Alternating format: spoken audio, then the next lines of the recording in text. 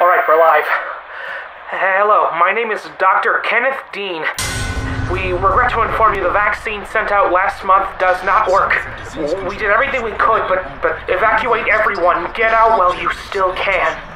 No, no, no, no, no. Stay away.